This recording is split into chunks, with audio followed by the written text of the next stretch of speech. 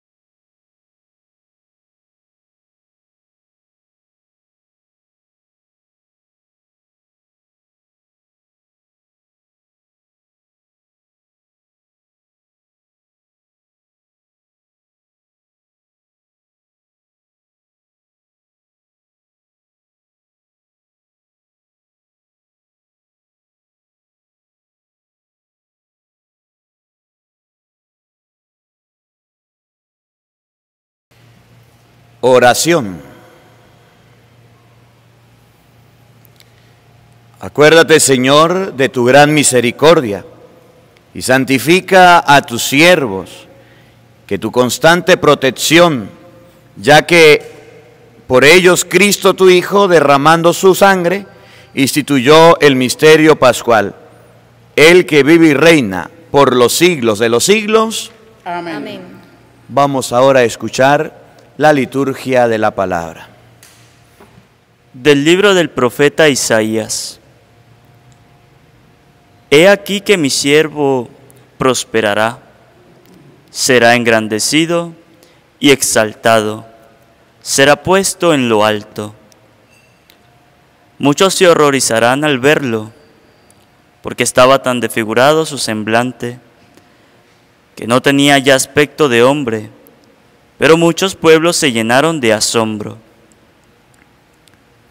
Ante él los reyes cerrarán la boca, porque verán lo que nunca se les había contado y comprenderán lo que nunca se habían imaginado. ¿Quién habrá de creer lo que hemos anunciado? ¿A quién se le revelará el poder del Señor? Creció en su presencia como planta débil, como una raíz en el desierto no tenía gracia ni belleza.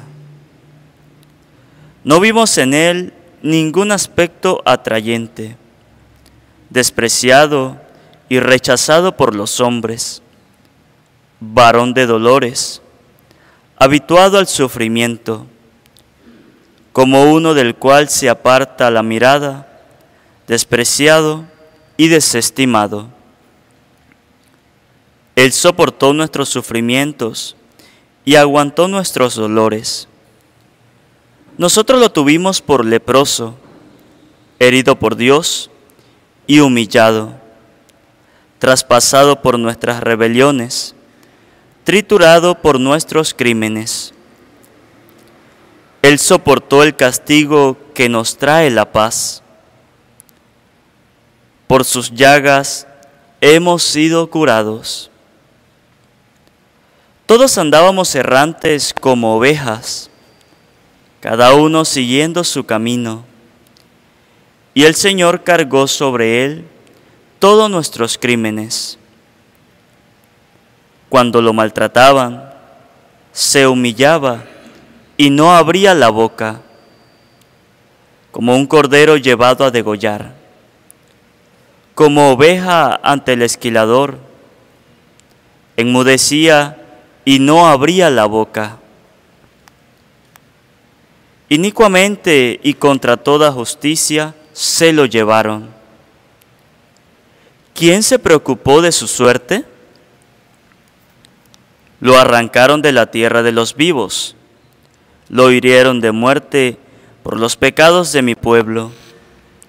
Le dieron sepultura con los malhechores a la hora de su muerte aunque no había cometido crímenes, ni hubo engaño en su boca. El Señor quiso triturarlo con el sufrimiento. Cuando entregue su vida como expiación, verá a sus descendientes, prolongará sus años y por medio de él prosperarán los designios del Señor. Por las fatigas de su alma, verá la luz y se saciará. Con sus sufrimientos justificará mi siervo a muchos, cargando con los crímenes de ellos.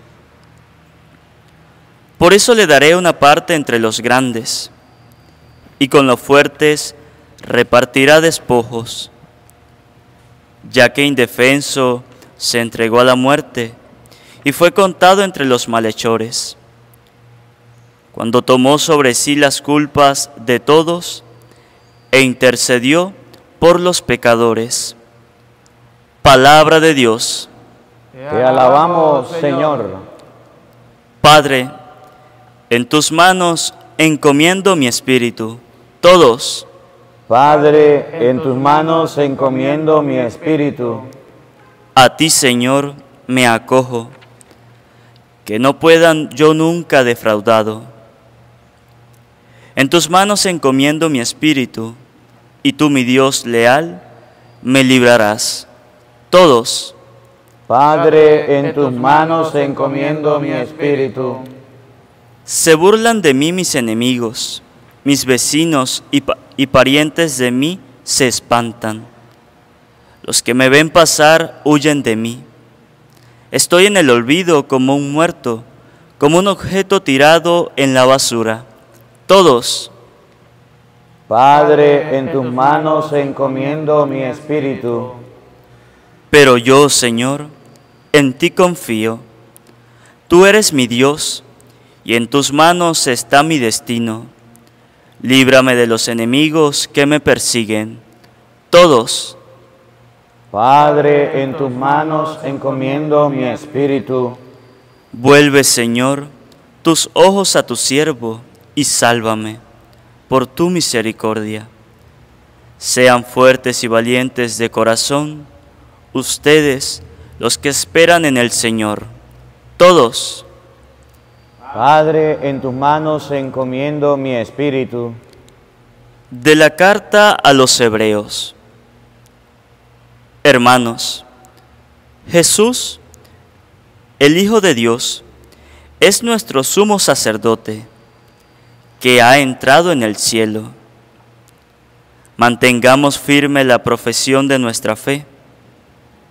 En efecto, no tenemos un sumo sacerdote que no sea capaz de compadecerse de nuestros sufrimientos, puesto que Él mismo ha pasado por las mismas pruebas que nosotros, excepto el pecado. Acerquémonos, por lo tanto, con plena confianza al trono de la gracia, para recibir misericordia, hallar la gracia y obtener ayuda en el momento oportuno. Precisamente por eso Cristo, durante su vida mortal, ofreció oraciones y súplicas con poderoso clamor y lágrimas a aquel que podía librarlo de la muerte, y fue escuchado por su piedad. A pesar de que era el Hijo, aprendió a obedecer padeciendo, y llegado a su perfección, se convirtió en la causa de la salvación eterna para todos los que lo obedecen. Palabra de Dios. Te alabamos, Señor.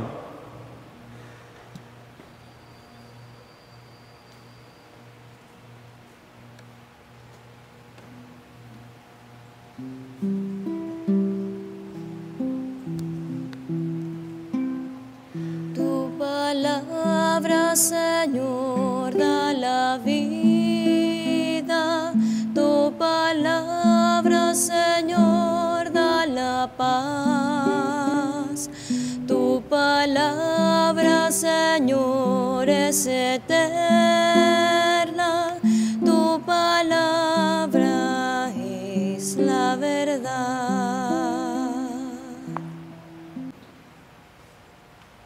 Pasión de nuestro Señor Jesucristo según San Juan. Gloria a ti, Señor.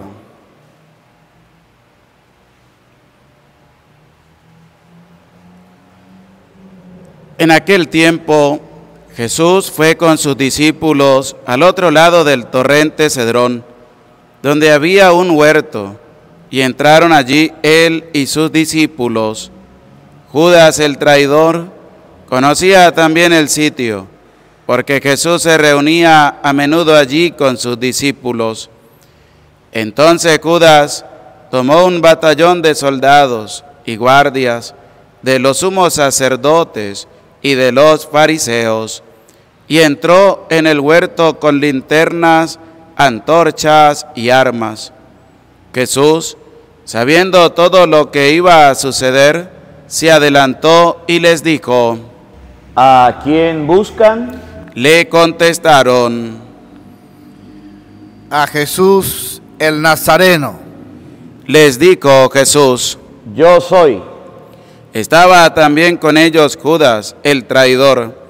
Al decirle yo soy, retrocedieron y cayeron a tierra. Jesús les volvió a preguntar. ¿A quién buscan? Ellos dijeron, a Jesús el Nazareno. Jesús contestó, Les he dicho que soy yo. Si me buscan a mí, dejen que estos se vayan. así se cumplió lo que Jesús había dicho. No he perdido a ninguno de los que me diste. Entonces Simón Pedro, que llevaba la espada, la sacó e hirió a un criado del sumo sacerdote, le cortó la oreja derecha. Este criado se llamaba Malco. Dijo entonces Jesús a Pedro, Mete la espada en la vaina. ¿No voy a beber el cáliz que me ha dado mi padre? el batallón, su comandante y los criados de los judíos apresaron a Jesús, lo ataron y lo llevaron primero ante Anás, porque era suegro de Caifás, sumo sacerdote aquel año. Caifás era el que había dado a los judíos este consejo.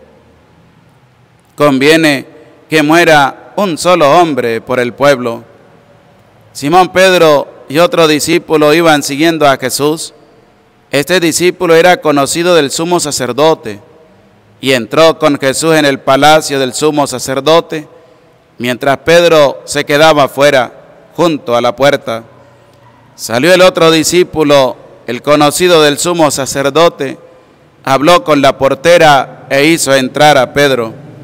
La portera dijo entonces a Pedro, ¿No eres tú también uno de los discípulos de ese hombre? él dijo, No lo soy. Los criados y los guardias habían encendido un brasero porque hacía frío y se calentaban.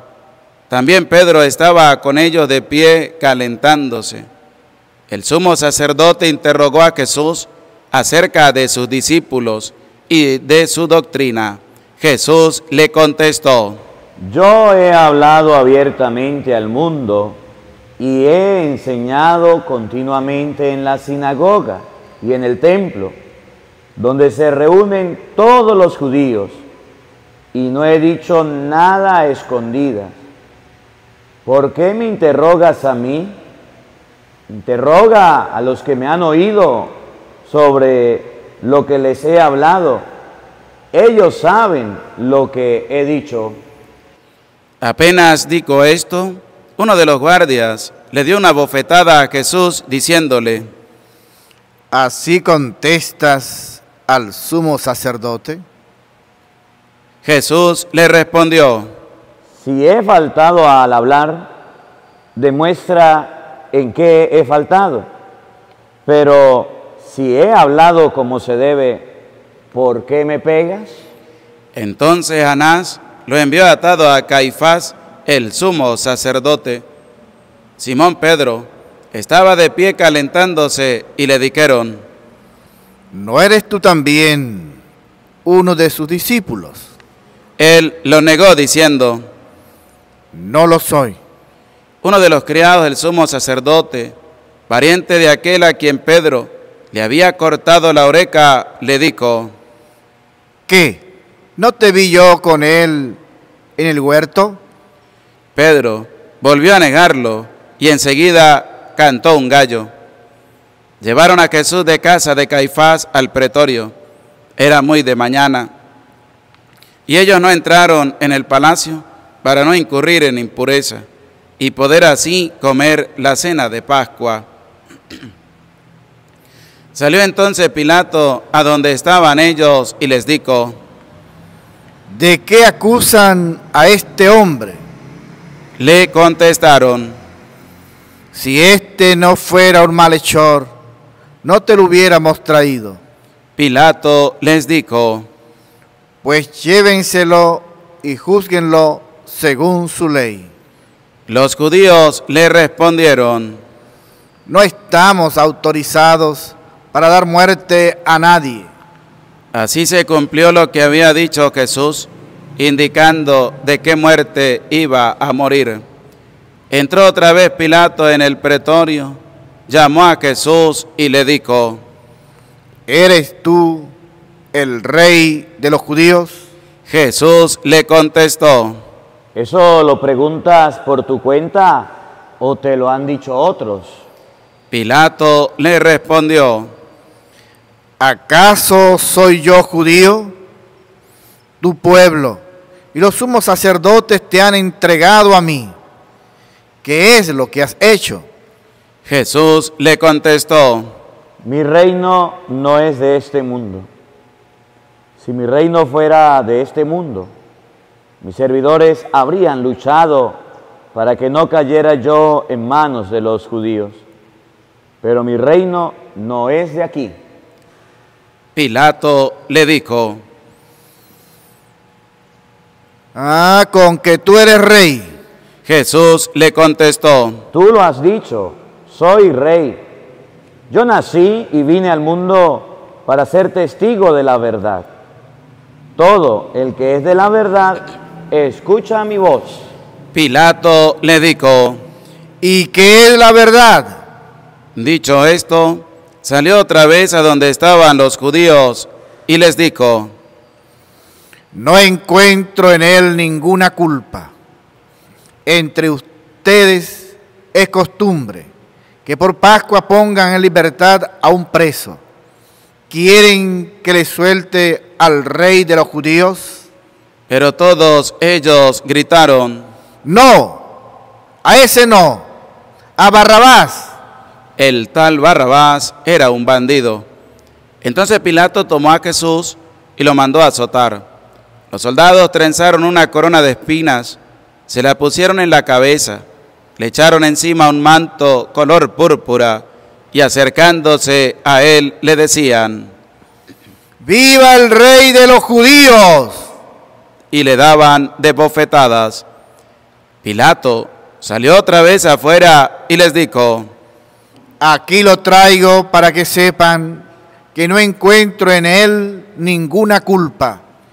Salió pues Jesús llevando la corona de espinas y el manto color púrpura. Pilato les dijo, Aquí está el hombre. cuando lo vieron los sumos sacerdotes y sus servidores, gritaron, Crucifícalo, crucifícalo. Pilato les dijo, Llévenselo ustedes y crucifíquenlo, porque yo no encuentro culpa en él. Los judíos le contestaron, Nosotros tenemos una ley y según esa ley tiene que morir, porque se ha declarado Hijo de Dios. Cuando Pilato oyó estas palabras, se asustó aún más y entrando otra vez en el pretorio, dijo a Jesús, ¿De dónde eres tú? pero Jesús no le respondió. Pilato le dijo entonces, ¿A mí no me hablas? ¿No sabes que tengo autoridad para soltarte y autoridad para crucificarte?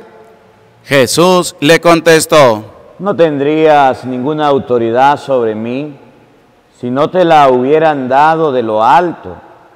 Por eso, el que me ha entregado a ti tiene un pecado mayor.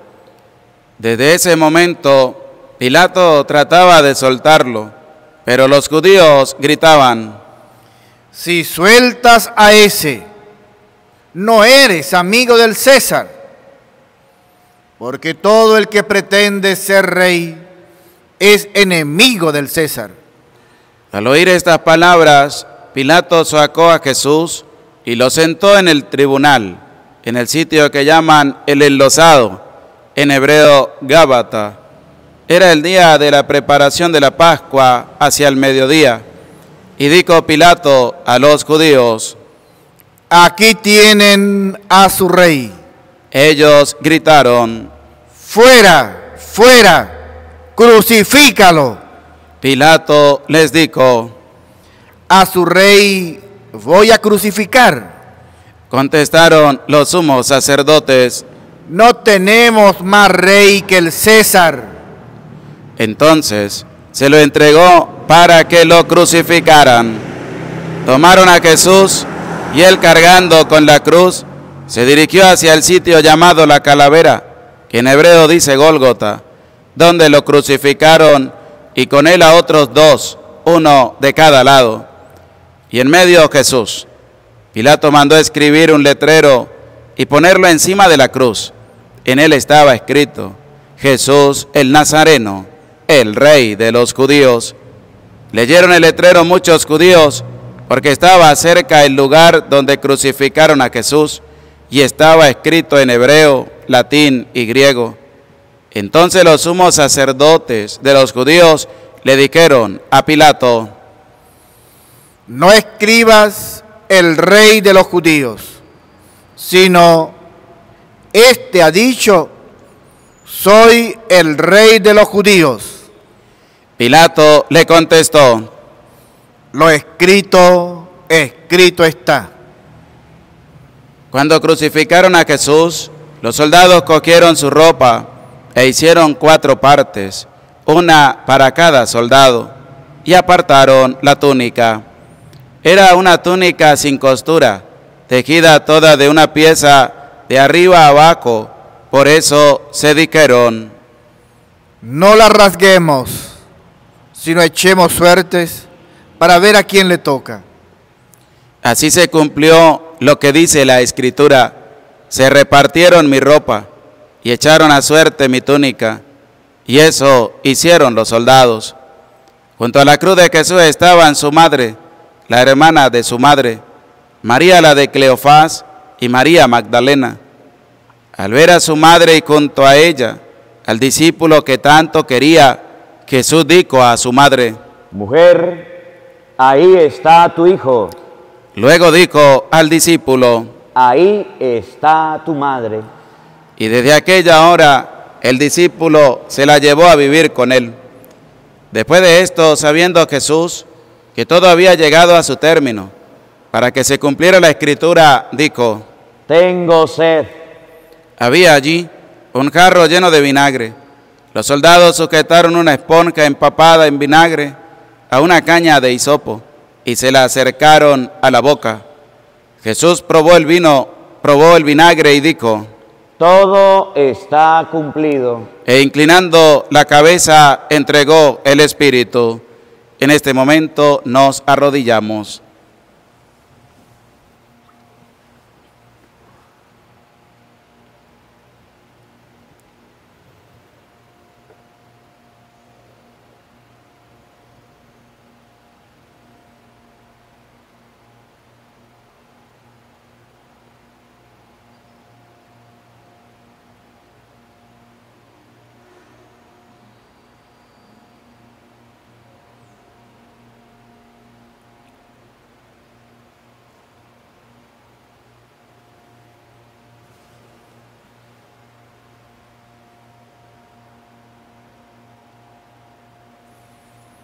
De pie, por favor. Entonces los judíos, como era el día de la preparación de la Pascua, para que los cuerpos de los ajusticiados no se quedaran en la cruz el sábado, porque aquel sábado era un día muy solemne, pidieron a Pilato que les quebrara las piernas y los quitaran de la cruz. Fueron los soldados, le quebraron las piernas a uno y luego al otro de los que habían sido crucificados con él. Pero al llegar a Jesús, viendo que ya había muerto, no le quebraron las piernas, sino que uno de los soldados le traspasó el costado con una lanza e inmediatamente salió sangre y agua. El que vio da testimonio de esto, y su testimonio es verdadero, y él sabe que dice la verdad, para que también ustedes crean. Esto sucedió para que se cumpliera lo que dice la Escritura, no le quebrarán ningún hueso. Y en otro lugar, la Escritura dice, mirarán al que traspasaron. Después de esto, José de Arimatea, que era discípulo de Jesús, pero oculto por miedo a los judíos, pidió a Pilato que lo dejara llevarse el cuerpo de Jesús. Pilato lo autorizó. Él fue entonces y se llevó el cuerpo. Llegó también Nicodemo, el que había ido a ver de noche, y trajo unas cien libras de una mezcla de mirra y aloe. Tomaron el cuerpo de Jesús y lo envolvieron en lienzos con esos aromas, según se acostumbra enterrar entre los judíos. Había un huerto en el sitio donde lo crucificaron y en el huerto un sepulcro nuevo, donde nadie había sido enterrado todavía. Y como para los judíos era el día de la preparación de la Pascua y el sepulcro estaba cerca, allí pusieron a Jesús. Palabra del Señor. Gloria a ti, Señor Jesús.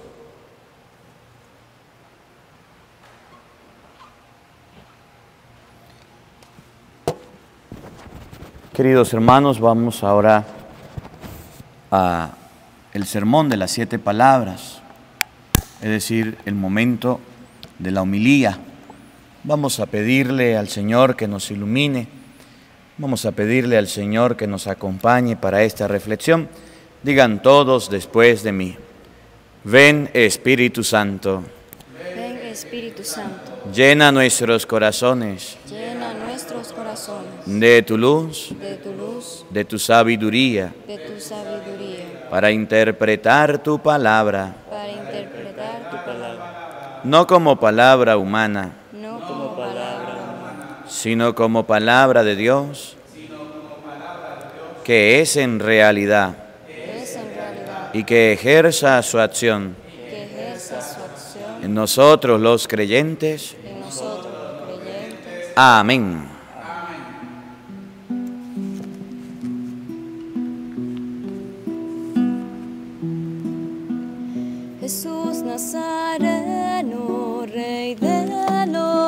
Judíos, Jesús de las siete palabras y un grito, corazón amigo, corazón herido, corazón de Cristo Jesús, yo confío en ti. Perdona los padres, no saben lo que hacen. Perdona los padres, no saben lo que hacen. Corazón amigo, corazón herido, corazón de Cristo Jesús, yo confío en ti.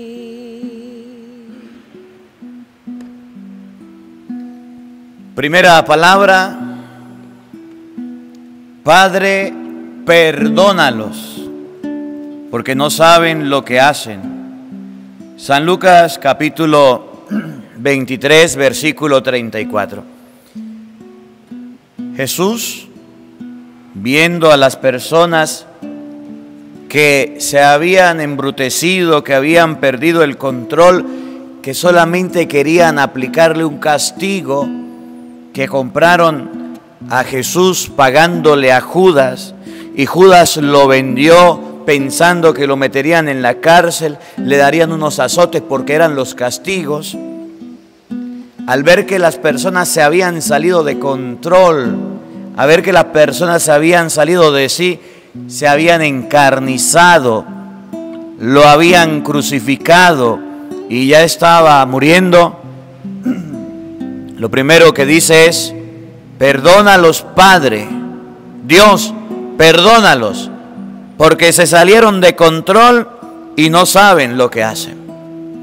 Ese grito de Jesús es el mismo grito del papá, de la mamá, de toda persona, hijos, tíos, sobrinos, nietos, cuando ven a las otras personas que se encarnizan, que les atacan, que quieren destruir.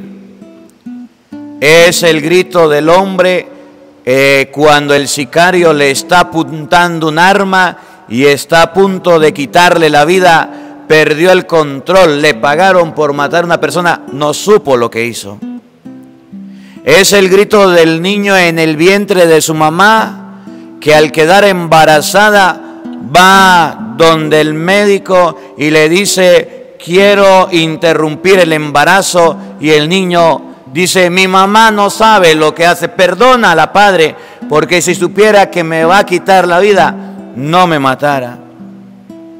Es el grito de las personas enfermas, sufriendo en los hospitales, cuando llegan las enfermeras y los doctores sin compasión, sin amor, con toda la rudeza del mundo, le curan las heridas y aquellas personas gritan y sufren el doctor no sabe del sufrimiento, la doctora no sabe del sufrimiento. El que cuida al enfermo no sabe por lo que está pasando y por eso lo cura de cualquier manera sin tener cuidado. Es el grito de los hijos huérfanos, olvidados por sus padres, que fueron y regalaron. Y el niño dice, ¿y dónde estará mi papito? Mi papá, mi mamá no supo lo que hacía, nos regaló, nos dejó botados y se fue. Es el grito que dan los niños cuando tienen hambre y les suena el estómago y el papá en vez de darle comida se harta la plata en miche, en vicio y en pecado. Y dice el niño, mi papito no sabe lo que hace. Si supiera mi papito cuánta hambre tengo, me daría de comer. Y aquí estoy solito y abandonado en mi casa y él con sus amigos disfrutando. Perdónalo, Padre, porque mi padre, mi papito no sabe lo que hace mi mamá tampoco. Es el grito de los hijos cuando se sienten descuidados y abandonados por sus padres. Es el grito de los hijos cuando sus padres, en vez de hablarle, lo agarran a golpe, lo maltratan, les pegan y después de una paliza, el niño entre lágrimas va y lo abraza, le dice, papá, mamá, te quiero, me has pegado, pero te sigo queriendo. Ese perdona a los padres porque no saben lo que hace es cuando la mujer tiene a sus hijos y el hombre se encuentra a la moza y le dice a la esposa, ya no te quiero, usted cambió, ya te quiero dejar, vete tú por tu vida y yo me voy por la mía. Se encontró una mujer nueva y abandonó a su esposa con sus hijos, la tiró y le dijo adiós. Pero también es el grito del hombre que es abandonado por su esposa con sus hijos cuando ella, por disfrutar de la vida, se va a otro lugar. Es el grito de los ancianos que están olvidados, que están en las camas o en los geriátricos porque sus hijos se fueron, se marcharon y le dijeron, ahí te dejamos botado, ahí te dejamos abandonado. Y dice el anciano y dice el papá y la mamá, Dios perdona a mis hijos porque tanto que hice por ellos en la vida, los eduqué, los formé, los ayudé, no saben lo que hacen. Cinco hijos crié y esos inútiles me dejaron abandonado. Padre, perdónalos, porque no saben lo que hacen. Es el grito del ser humano cuando sufre, ve la injusticia y se da cuenta que el ser humano se ha salido de control. Padre, perdónalos porque no saben lo que hace. San Lucas capítulo 23, versículo 34.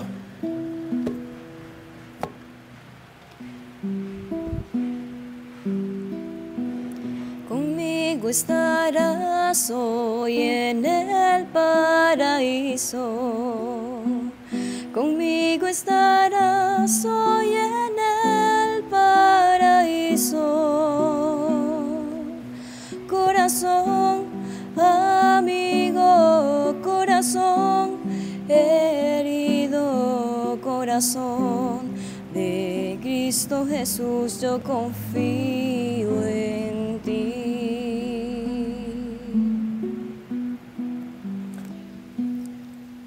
En la segunda palabra de Jesús encontramos a un hombre que es misericordioso y que nos invita a cada uno de nosotros a estar con Él en el paraíso.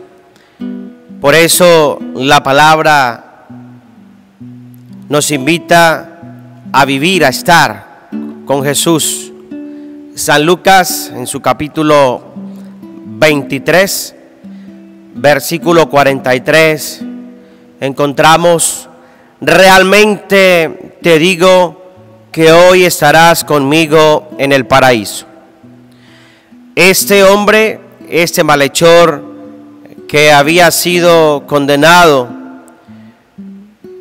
sin saber su situación de pecado, su situación de condena, y escuchamos a veces en el orgullo público que dicen ese ladrón bueno, el ladrón que crucificaron al lado de Jesús a su derecha, llamado Dimas, donde es el mismo Jesús quien lo está invitando a participar del paraíso, es decir, de la vida eterna. Y queridos hermanos, ¿cuántos de nosotros con nuestras acciones, con nuestra manera de ser y de pensar, podemos en vez de estar cerca de Jesús, al lado de Jesús, nos alejamos de esa presencia de Jesús. El paraíso para cada uno de nosotros tiene que significar ese encuentro. Y esta Semana Santa que estamos celebrando nos tiene que llevar a nosotros a ese camino que nos va a conducir hacia Cristo. Y podemos recordar el sufrimiento de las madres por sus hijos, pero también el sufrimiento de los pueblos que están martirizados, lacerados, donde el corazón llora lágrimas de dolor al ver a sus hijos sufrir. Jesús dice estas palabras a este ladrón para proclamar a cada uno de nosotros que también podemos encontrar un paraíso en medio de nuestros pecados, en medio de nuestras flaquezas. Y por lo tanto, en esta palabra vamos a vivir en la misericordia de Dios. La humanidad nos invita es a juzgar, a señalar, a criticar. Pero hoy Jesús solamente está diciendo, desde hoy realmente estás conmigo en el paraíso. Una persona llega y dice, Usted es ladrón, usted es matón, usted es drogómano, usted es prostituta. Y puede llegar a nuestra mente cuando llevaron a aquella mujer ante Jesús y pregunta, el que esté libre de pecado que lance la primera piedra y todos comenzaron a retirarse y dejaron a esta pobre mujer que iba a ser apedreada. Pero también encontramos a este hombre que estaba siendo culpado. Pero ustedes y yo, ¿de qué podemos ser culpados? Señalamos, queremos tiranizar a la gente, criticarla, difamarla, calumniarla. Hoy, en esta palabra, Jesús no le está reclamando a este ladrón. ¿Y usted por qué lo crucificaron? ¿Y usted por qué está al lado mío? ¿Usted por qué lo trajeron a cumplir esta pena de muerte? Es lo que nosotros día a día estamos poniendo en práctica. Criticamos a la gente, martirizamos. Y no solo a las personas, también estamos criticando a los sacerdotes. Cuando comete un error, cuando comete una falla, de inmediato lo señalamos. De inmediato estamos haciendo como ese pueblo esos hombres que llevaron a esta mujer para condenarla. Hoy Jesús nos está demostrando a nosotros que hay que ser misericordiosos. Tuvo compasión, tuvo misericordia. Y yo le digo a la gente, ¿ustedes saben quién fue el primer santo de la iglesia? Y se miran unos a otros y preguntan, ¿y quién fue padre? Y yo le digo, pues yo tampoco sé. Pero el primer santo de la iglesia fue canonizado, fue hecho santo por el mismo Jesús. No le dijo mañana ni pasado mañana, sino le dijo, desde hoy estarás conmigo en el paraíso. Ustedes y yo estamos invitados a aceptar a Cristo en nuestro corazón, buscándolo desde lo más profundo de nuestra conversión, practicando el bien y evitando el mal. Está tu madre, ahí está tu hijo. Ahí está tu madre, ahí está tu hijo. Corazón, amigo, corazón, herido corazón de Cristo Jesús, yo confío en ti.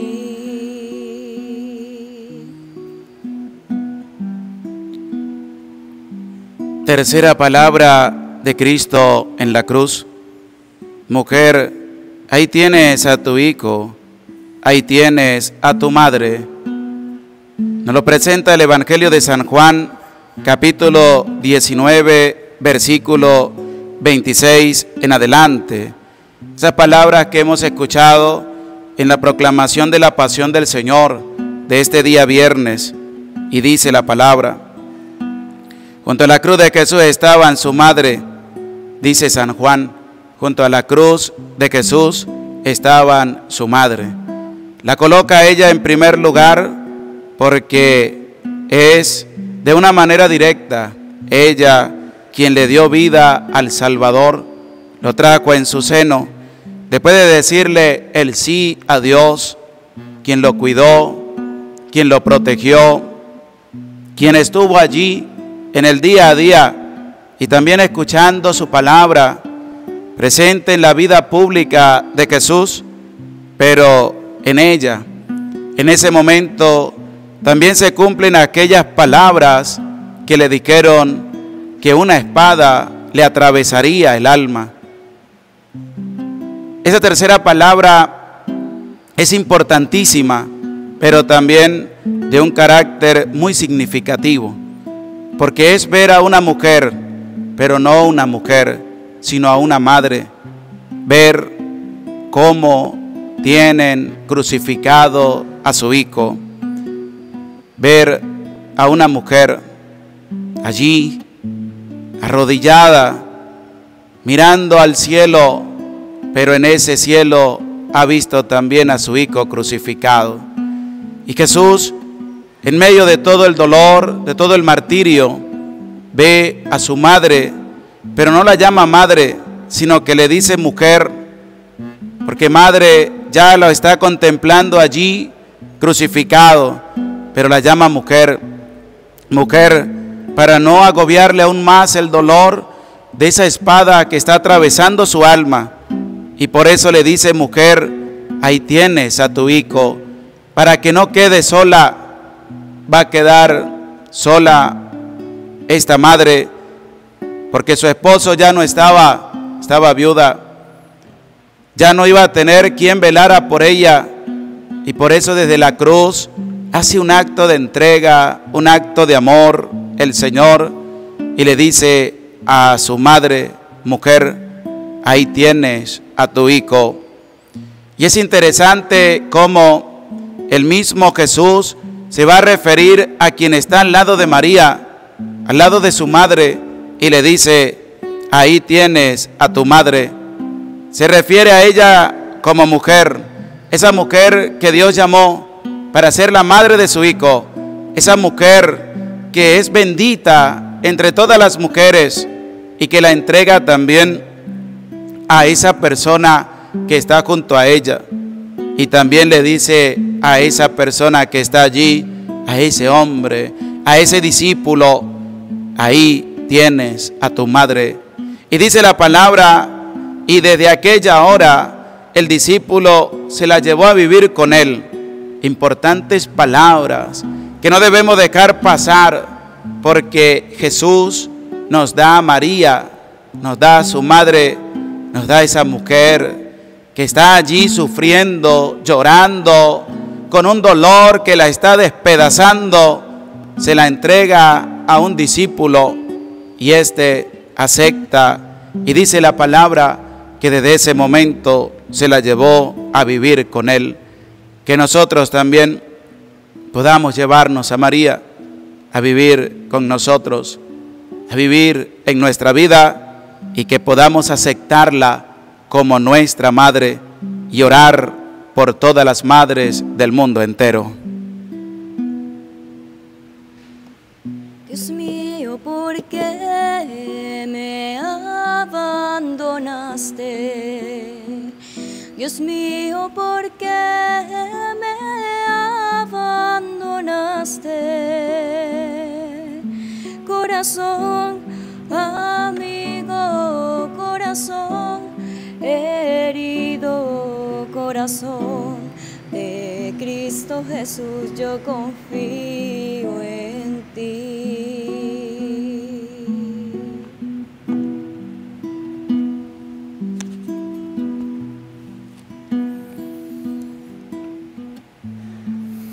Cuarta palabra.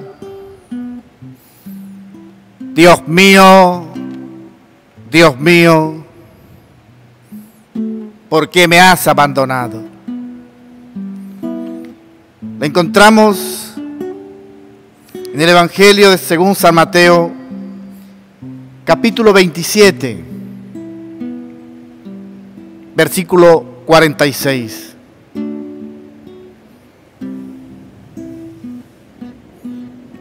Mirando el crucifijo.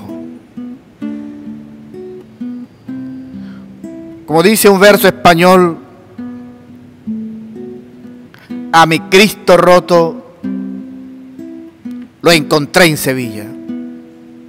Para entender la vida,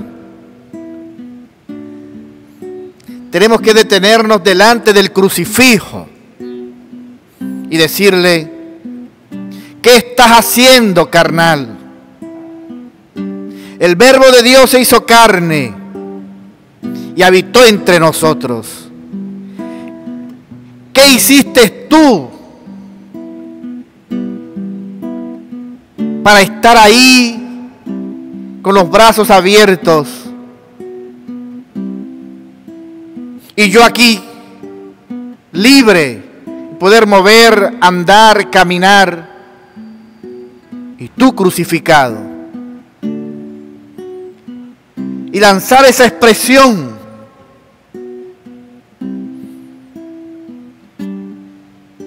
Y no sé si mirando al cielo o solamente deteniéndose hacia la tierra sus ojos para decir, Dios mío, Dios mío, ¿por qué me has abandonado? ¿Cuántas veces te has sentido así? Que estás solo, que nadie te acompaña. ¿Dónde están los amigos de Jesús? ¿Cuántas personas estaban ahí en la montaña del Gólgota?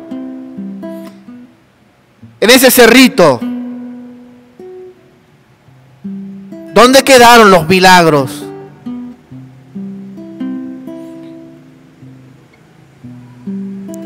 ¿Dónde estaban los que abrían las puertas?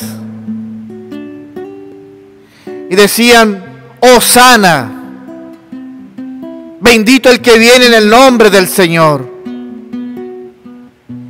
Esa expresión de Jesús que dice, Dios mío, Dios mío, ¿por qué me has abandonado? Carnal, ¿qué estás haciendo? Te lo está diciendo a ti. Que lo has abandonado una vez que has encontrado fortuna, que has encontrado amor, que supuestamente has manifestado o has tocado la puerta de una felicidad ficticia y le has dado la espalda al que subió a la cruz. Aquel que entregó todo, multiplicó el pan, y bebió del agua del pozo de aquella samaritana. ¿Y tú qué le has dado a Jesús?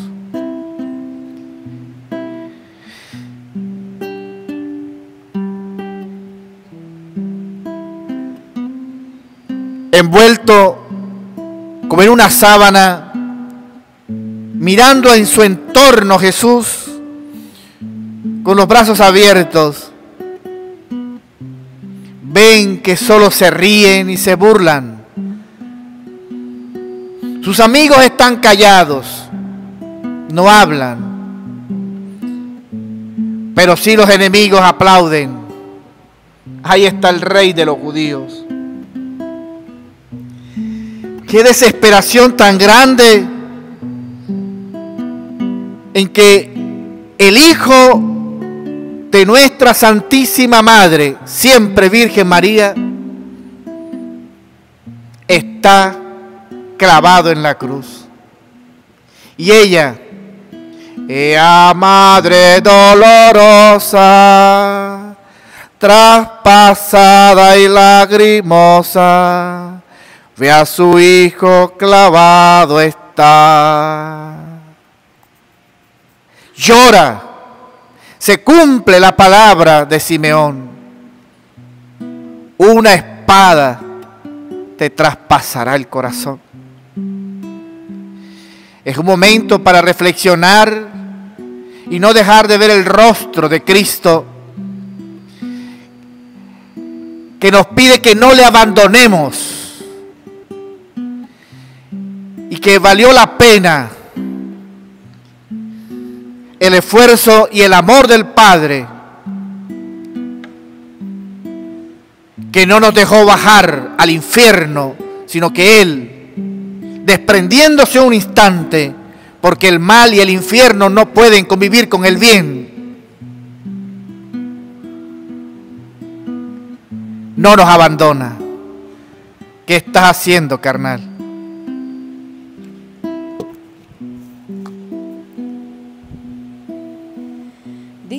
Tengo sed y dio un fuerte grito. Dijo, tengo sed y dio un fuerte grito. Corazón, amigo, corazón, herido corazón de Cristo Jesús, yo confío en ti.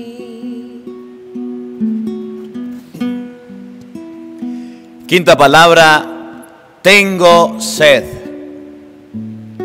Y ante la petición de Jesús de estar sediento, la respuesta fue vinagre.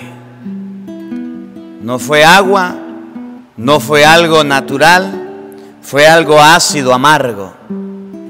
Y ese sed, tengo sed, es lo mismo que hacen las madres cuando ven que sus hijos son unos desobedientes, son unos groseros, son unos vividores, le andan robando, se andan portando mal y dice la mamá, Dios mío, tengo sed de que mi hijo cambie. Y el pelado le da vinagre, la sigue robando, la sigue estafando, la sigue insultando, maltratando y no ayuda en un carrizo en la casa. Es el grito del Padre a Dios que dice, Dios mío, tengo sed de que mis hijos valoren lo que les doy, de que mis hijos amen, de que mis hijos quieran, de que mis hijos aprecien y valoren el esfuerzo que hago al trabajar por ellos. Y al contrario, los hijos le dan vinagre a los padres, le desobedecen, dañan las cosas, no las cuidan, no las valora, porque nunca, nunca le costaron.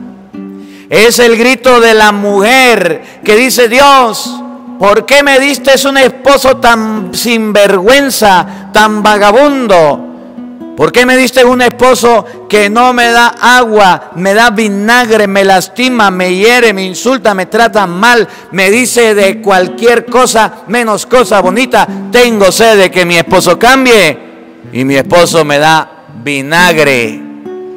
Es el grito del esposo cuando la mujer al llegar a la casa lo recibe con maltratos también y dice el esposo, Dios, tengo sed de cambio de esta mujer, ayúdala a cambiar. No es agradecida con nada, nunca, nunca se complace con nada, nunca está contenta, parece que le hago la vida imposible. en vez de darme agua en el matrimonio, me da vinagre. El dar vinagre es lo que nosotros estamos haciendo con las personas que amamos, que queremos, que necesitan de nosotros. Es el grito hoy día de Venezuela, que clama a Dios, Dios, tengo hambre, Dios, quiero un trabajo digno, Dios, quiero que mis hijos no se vayan, Dios, quiero amor, quiero paz, quiero vivir en libertad. Y tenemos a un gobierno que le ha dado a Venezuela vinagre. La hace llorar, la hace sufrir, le quita la comida, le quita el gas, le quita el combustible, hace que los hijos se vayan porque no hay oportunidad de trabajo. Es el grito de los venezolanos allá en el exterior, sufriendo y padeciendo, llevando y comiendo y tomando vinagre, porque los gobernantes no han hecho su trabajo como debe ser. Es el grito también de los fieles en misa cuando vienen a la iglesia y vienen a escuchar la homilía, la reflexión, y el Padre en vez de darle palabra de Dios, le da vinagre, los grita, los trata mal, los corre, los humilla, y en vez de predicar la palabra de Dios, habla cualquier pamplinada y dicen los fieles, Dios, queremos que nos des palabra, queremos que nos des agua, y los curas dándole vinagre, no confiesan, no hacen misas, no escuchan a la gente. La parroquia necesita del sacerdote que le dé agua y el padrecito le está dando vinagre. Pero es el grito del obrero trabajador que tiene un jefe que en vez de pagarle el sueldo a la hora, que en vez de pagarle las horas extras, que en vez de darle lo que necesita y le están pidiendo, le roba el dinero, lo maltrata, le da vinagre, le es indiferente. Si quiere, trabaje, si no, lárguese para su casa. Total, aquí tenemos quien trabaje, aquí tenemos quien está. Cuando Cristo pidió agua, le dieron vinagre, amargo, ácido, que no es para tomar. Y es lo mismo que hacen las personas cuando nosotros tenemos una necesidad y nos dan la espalda. Es el grito de los pobres que hoy día dicen a Dios, Dios, no tenemos ropa, no tenemos muchas cosas. Y nosotros cuando regalamos algo a un pobre, le damos lo roto, lo escocido, lo viejo, lo peor. Y el pobre dice, gracias Dios porque llegó algo, pero que no le va a durar nada y no le va a servir para nada. El darle vinagre a alguien es hacerle la vida imposible. El darle vinagre a alguien es amargarle la vida. El darle vinagre a alguien es hacerlo para dañarlo, para destruirlo. Y es el grito que hoy Jesús dice cuando siente sed, cuando está sediento y le dan vinagre, amargura, le dan de todo menos algo bueno para comer, algo bueno para tomar. Que esta palabra quinta en la que enseña que en vez de agua le dieron vinagre, nos ayude a nosotros a dar cosas buenas a las personas.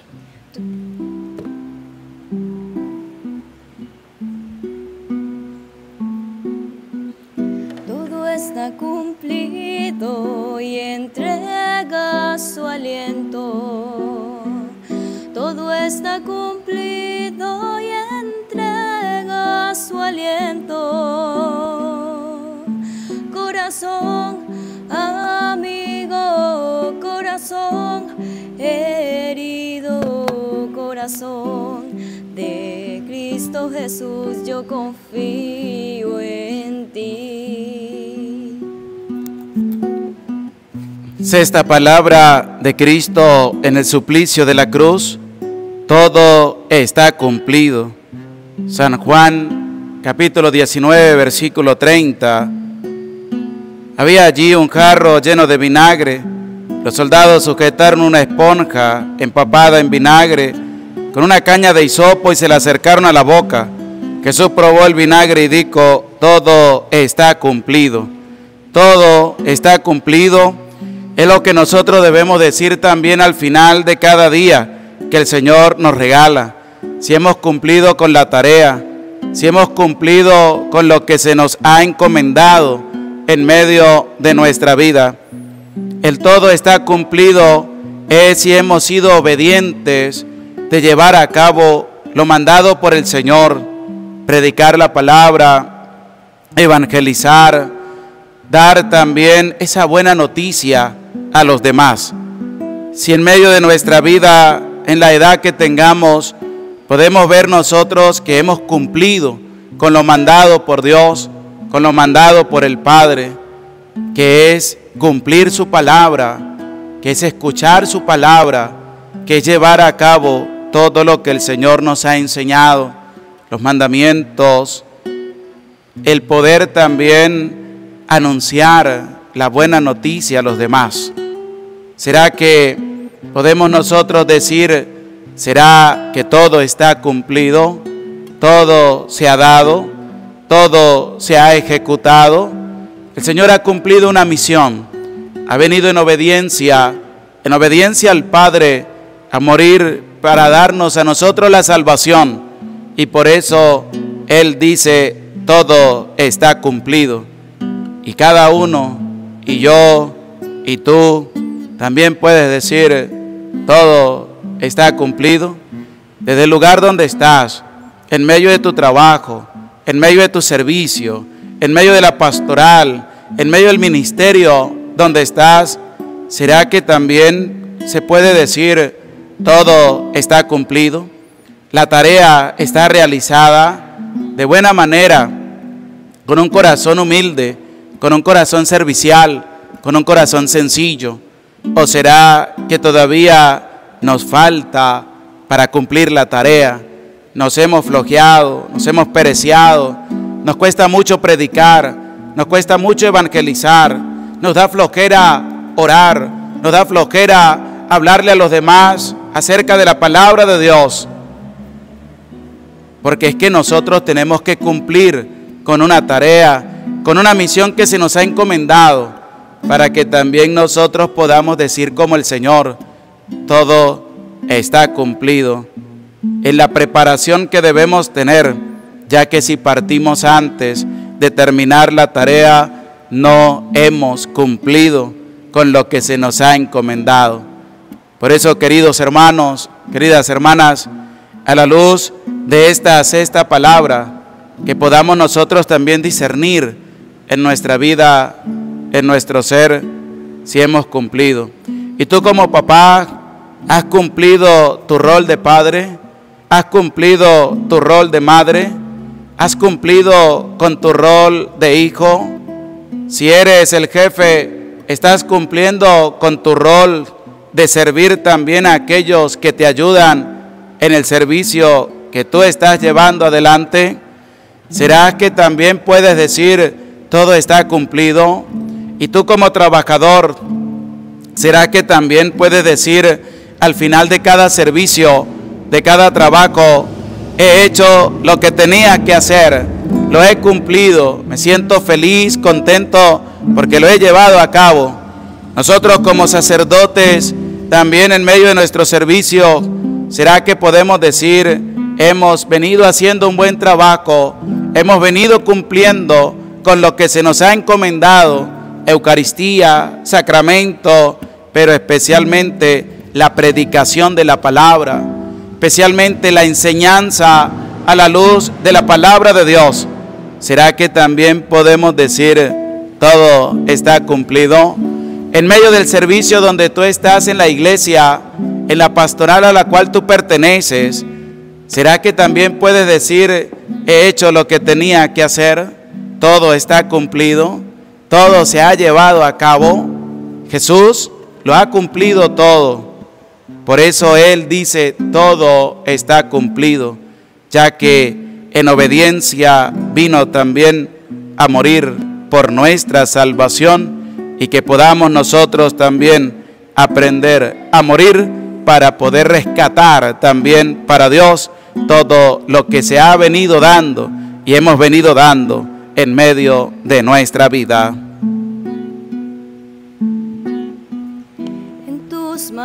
Padre, yo pongo mi espíritu.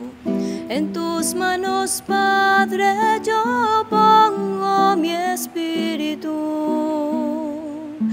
Corazón amigo, corazón herido corazón. De Cristo Jesús yo confío en ti.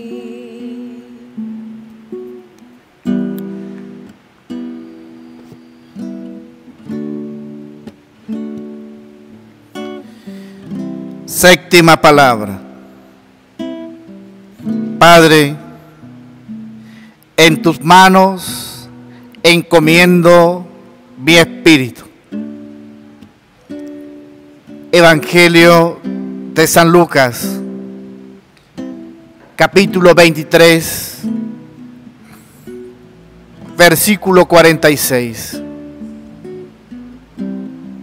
Padre, ¿se acuerdan ustedes cómo Él,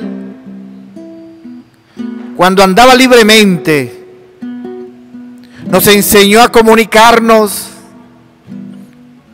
con el que lo envió? Abba, papito, aquí estoy. Viendo a mi Señor crucificado, que lleva más de tres horas clavado en la cruz, desangrándose gota a gota para morir por mí. Es la frase más suave que lanza el viento. Padre, en tus manos encomiendo mi espíritu, que es muy distinta a la cuarta palabra. Dios mío, Dios mío, ¿por qué me has abandonado? De Mateo 27, 46 es la unión hipostática, la divinidad y la humanidad que se expresa ante nosotros. Ese misterio se abre. En la cuarta es el hombre. Y en esta séptima palabra, en la misma divinidad, es Dios. Con aquella armonía en que suspira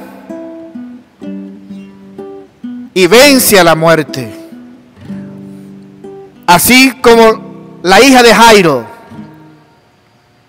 el hijo de la viuda de Naín, o el mismo Lázaro que llevaba cuatro días putefacto.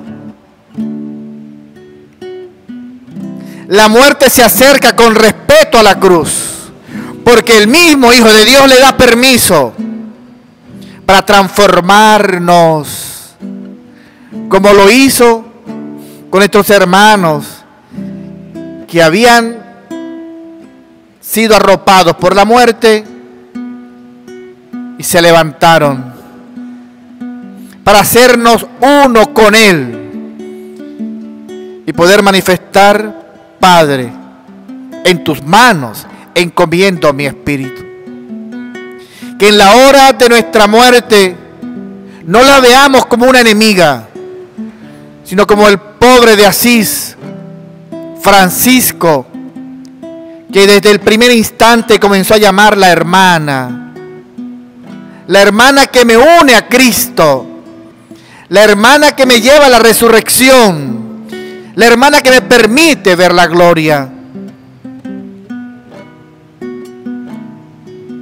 Padre, en tus manos encomiendo mi espíritu carnal. ¿Y tú qué estás haciendo? ¿Has reflexionado acerca de la muerte? ¿Te has puesto a pensar cómo Jesús desde la cruz, sin temblar, sin maldecir, nos mira?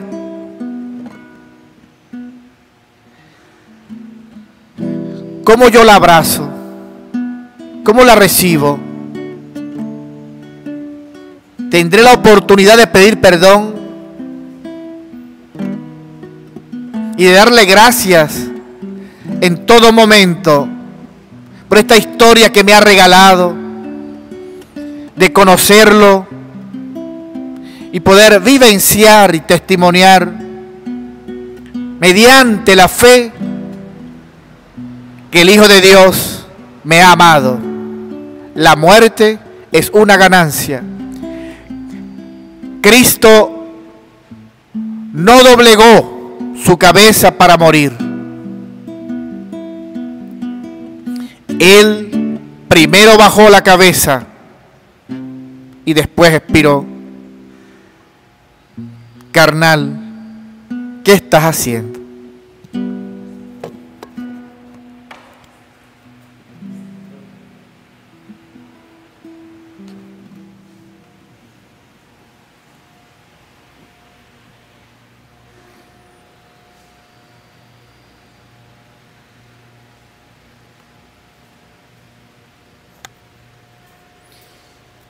Queridos hermanos, ahora pasaremos a la, eh, a la siguiente parte. Después de la liturgia de la palabra viene la oración universal. El sacerdote va a invitar al pueblo a orar por la iglesia, por el Papa, por el pueblo. El Padre invitará con una lectura breve a orar y después el Padre hará la oración. Esto se llama oración universal, donde nos dicen por quién vamos a orar y después hacemos la oración.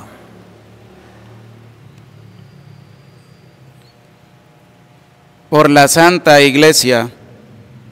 Oremos, queridos hermanos, por la Santa Iglesia de Dios, para que nuestro Dios y Señor le conceda la paz y la unidad se digne protegerla en toda la tierra y nos conceda glorificarlo como Dios Padre Omnipotente, con una vida pacífica y serena.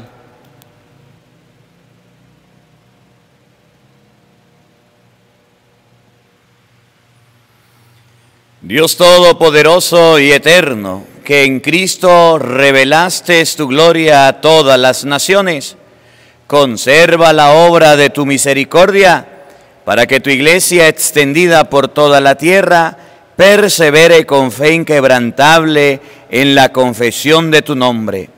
Por Jesucristo nuestro Señor. Amén. Por el Papa. Oremos también por nuestro Santo Padre, el Papa Francisco, para que Dios nuestro Señor que lo escogió para el orden de los obispos, lo conserve a salvo y sin daño para bien de su santa iglesia, a fin de que pueda gobernar al pueblo santo de Dios.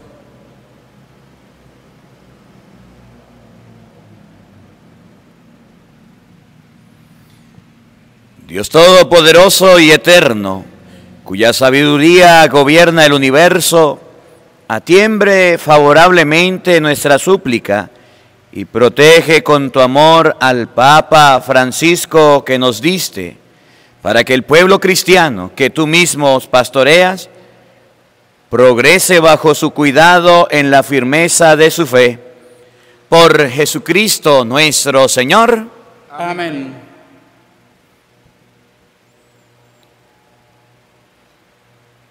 Por el pueblo de Dios y sus ministros. Oremos también por nuestro obispo Jesús Alfonso Guerrero, por todos los obispos, presbíteros y diáconos de la iglesia, y por todo el pueblo santo de Dios.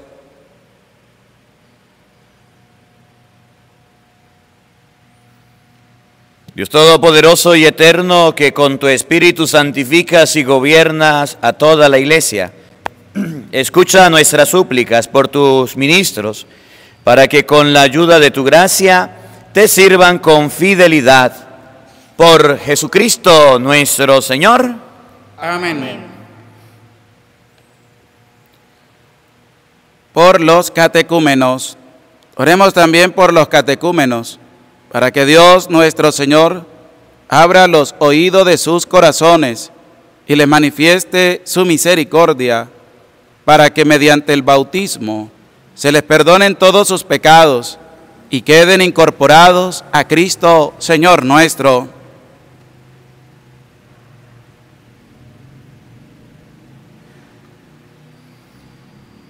Dios Todopoderoso y Eterno, que sin cesar concede nuevos hijos a tu iglesia, acrecienta la fe y el conocimiento a los catecúmenos, para que renacidos en la fuente bautismal, los cuente entre tus hijos de adopción.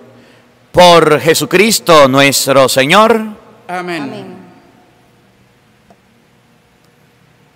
Por la unidad de los cristianos, oremos también por todos los hermanos que creen en Cristo, para que Dios nuestro Señor se digne congregar y custodiar en la única iglesia a quienes procuran vivir en la verdad.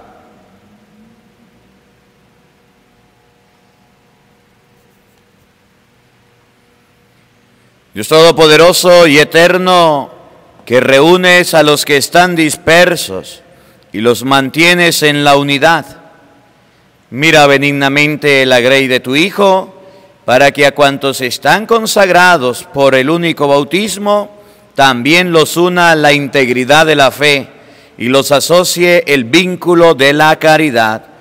Por Jesucristo nuestro Señor. Amén por los judíos. Oremos también por los judíos para que a quienes Dios nuestro Señor habló primero, les conceda progresar continuamente en el amor de su nombre y en la fidelidad a su alianza.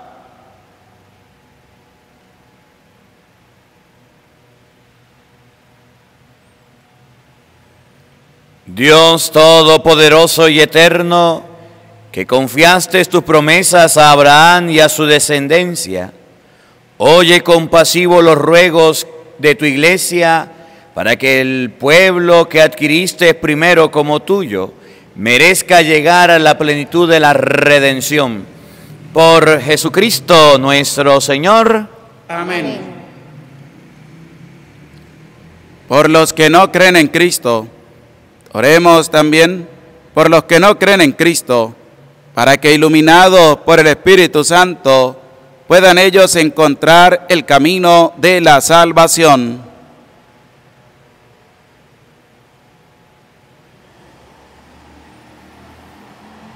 Dios Todopoderoso y Eterno, concede a quienes no creen en Cristo que caminando en tu presencia con sinceridad de corazón, encuentren la verdad y a nosotros concédenos crecer en el amor mutuo y en el deseo de comprender mejor los misterios de tu vida, a fin de que seamos testigos cada vez más auténticos de tu amor en el mundo. Por Jesucristo nuestro Señor. Amén.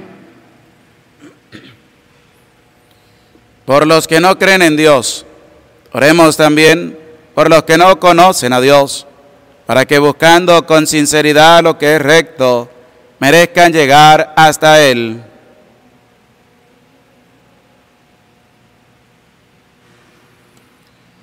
Dios Todopoderoso y Eterno, que creaste a todos los hombres para que deseándote te busquen y para que al encontrarte descansen en ti, concédenos que en medio de las dificultades de este mundo, al ver los signos de tu amor y el testimonio de las buenas obras de los creyentes, todos los hombres se alegren al confesarte como único Dios verdadero y Padre de todos. Por Jesucristo nuestro Señor. Amén. Por los gobernantes. Oremos también por todos los gobernantes de las naciones, especialmente por nuestro país Venezuela, para que Dios nuestro Señor guíe sus mentes y corazones según su voluntad providente hacia la paz verdadera y la libertad de todos.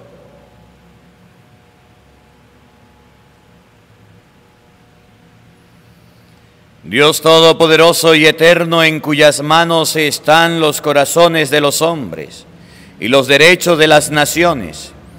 Mira con bondad a nuestros gobernantes, para que con tu ayuda se afiance en toda la tierra un auténtico progreso social, una paz duradera y una verdadera libertad religiosa. Por Jesucristo nuestro Señor. Amén.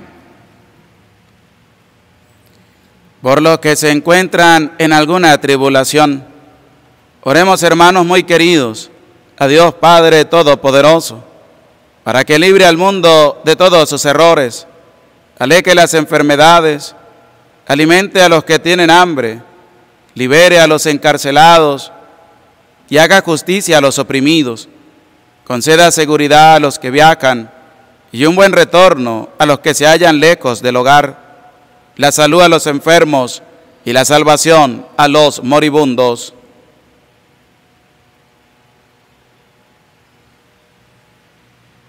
Dios Todopoderoso y Eterno, consuelo de los afligidos y fortaleza de los que sufren.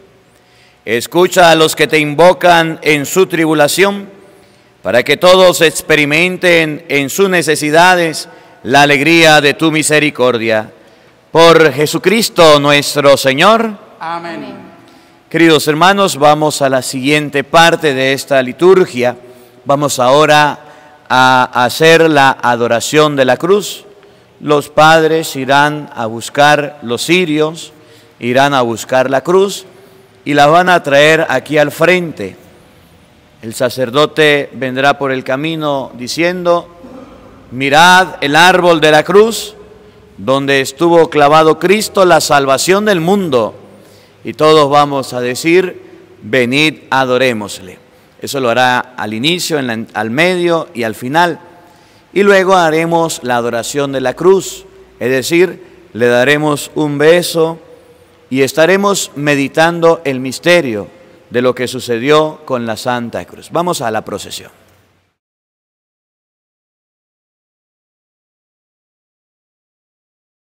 Ven y adoremos el árbol de la cruz, en donde estuvo clavado Cristo el Salvador del mundo.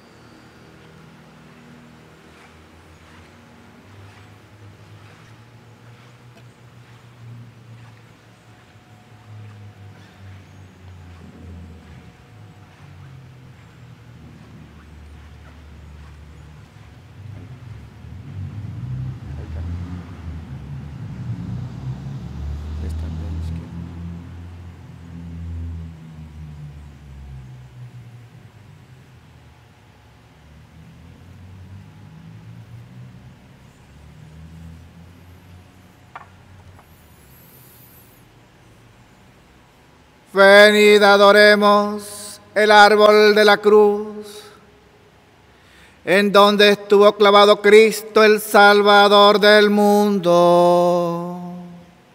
Ven y adoremos.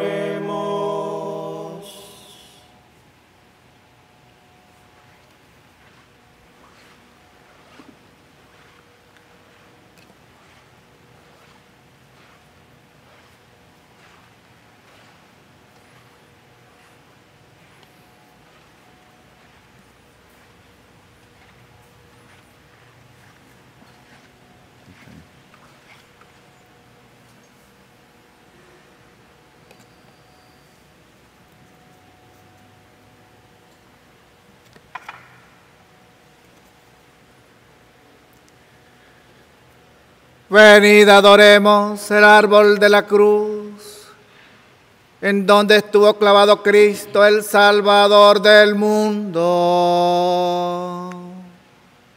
Venid y adoremos. Ahora los sacerdotes nos vamos a acercar para hacer un gesto de adoración, de respeto a la Santa Cruz, es decir, darle un beso. En aquel lugar nos vamos a colocar al lado de la otra cruz.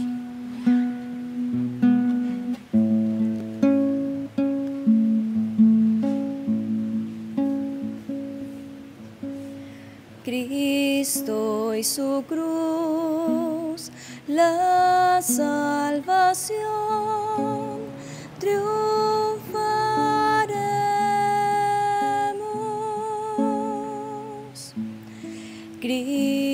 Cristo y su cruz, la salvación triunfaremos.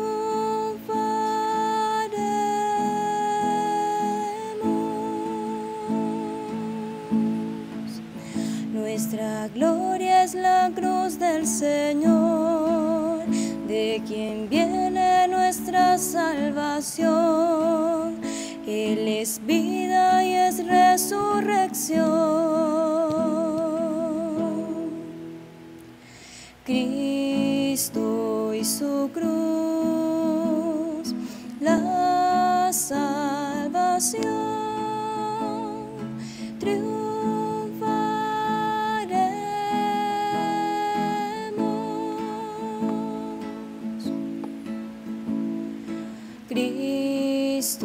Cristo y su cruz, la salvación triunfaremos. El que quiera venir tras de mí, que se niegue y renuncie a su yo, siga abrazando a su cruz.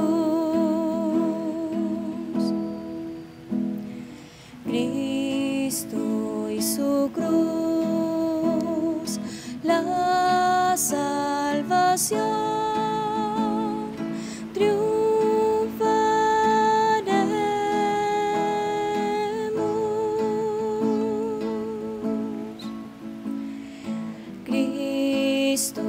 su cruz,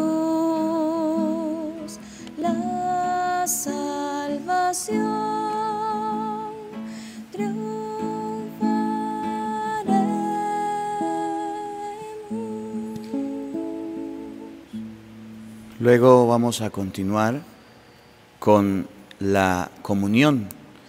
Les quiero recordar a todos que estamos en Viernes Santo. Usted en su casa puede también buscar el crucifijo con su familia, hacer un acto penitencial, hacer un acto de arrepentimiento, hacer el Santo Rosario, leer la palabra de Dios y darle un besito a la cruz. Estamos adorando el misterio de la cruz, donde Jesucristo entregó su vida por nosotros. Colocaremos la cruz en su lugar y vamos a ir al altar, colocar el mantel. Ustedes ven que el altar está desnudo. Colocaremos el mantel, colocaremos los cirios y traeremos la sagrada comunión. Y después de la comunión, bueno, colocaremos el santo sepulcro que vamos a tener aquí al frente para poder nosotros también orar ante el santo sepulcro los 33 credos.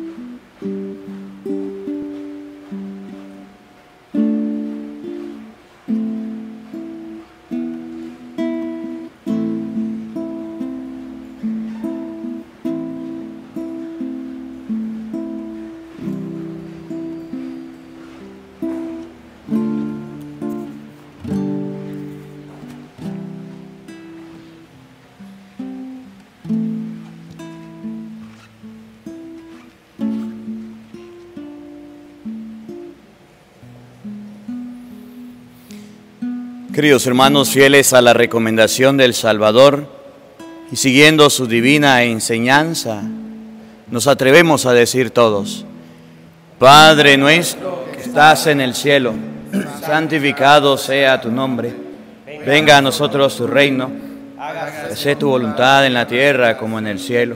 Danos hoy nuestro pan de cada día. Perdona nuestras ofensas, como también nosotros perdonamos a los que nos ofenden. No dejes caer en tentación y líbranos del mal.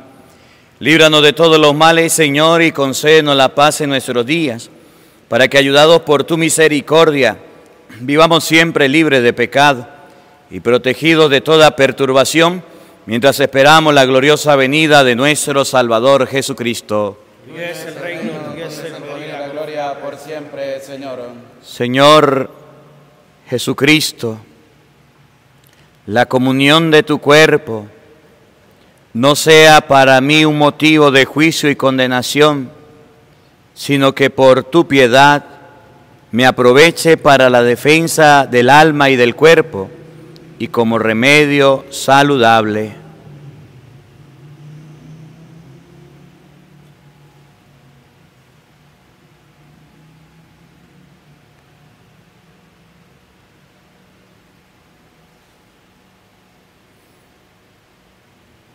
Este es el Cordero de Dios que quita el pecado del mundo.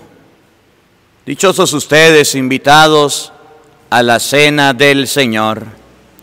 Señor, no soy digno de que entres en mi casa, pero una palabra tuya bastará para sanarme.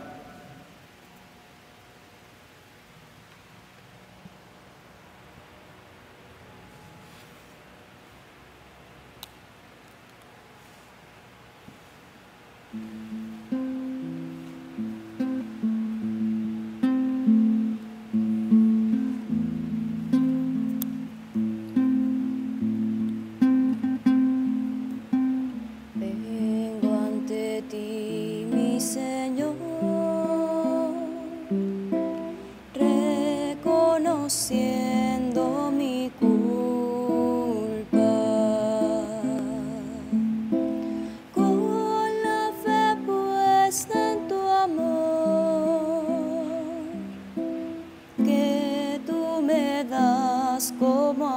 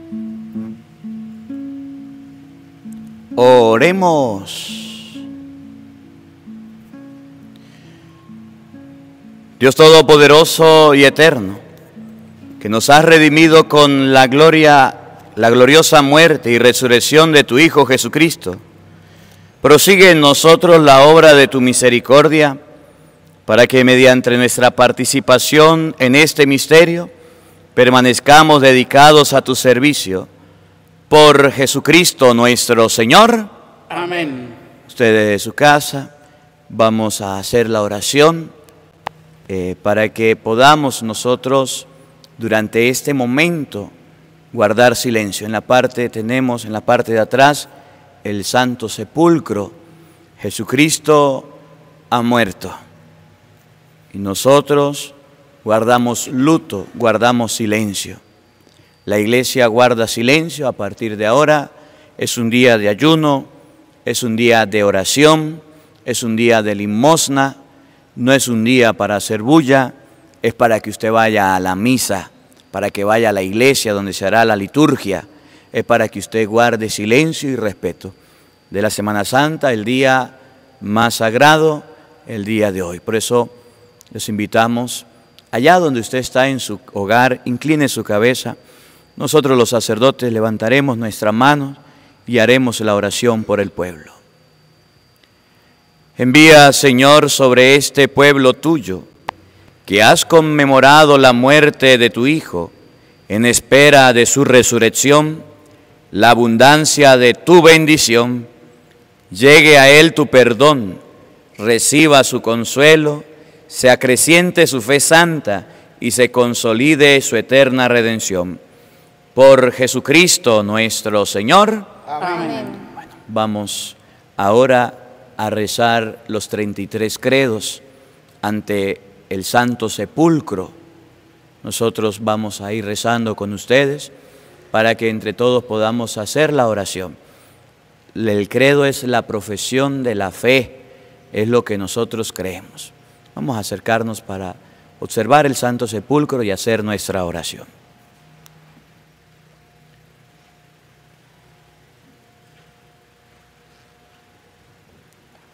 Decimos todos, creo en Dios Padre Todopoderoso, Creador del cielo y de la tierra. Creo en Jesucristo, su único Hijo, nuestro Señor, que fue concebido por obra y gracia del Espíritu Santo. Nació de Santa María Virgen, padeció bajo el poder de Poncio Pilato, fue crucificado, muerto y sepultado, descendió a los infiernos al tercer día resucitó de entre los muertos, subió a los cielos y está sentado a la derecha de Dios Padre Todopoderoso. Desde allí a venir a juzgar a vivos y muertos. Creo en el Espíritu Santo, en la Santa Iglesia Católica, en la comunión de los santos, en el perdón de los pecados, en la resurrección de la carne y en la vida eterna. Amén.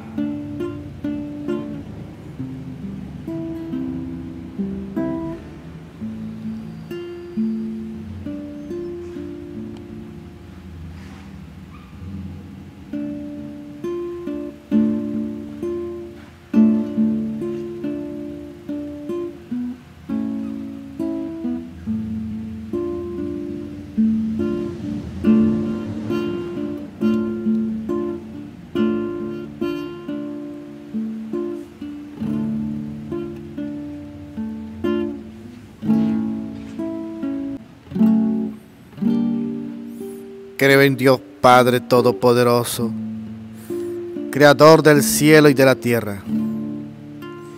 Creo en Jesucristo, su único Hijo, nuestro Señor, que fue concebido por obra y gracia del Espíritu Santo. Nació de Santa María siempre Virgen. Padeció bajo el poder de Poncio Pilato.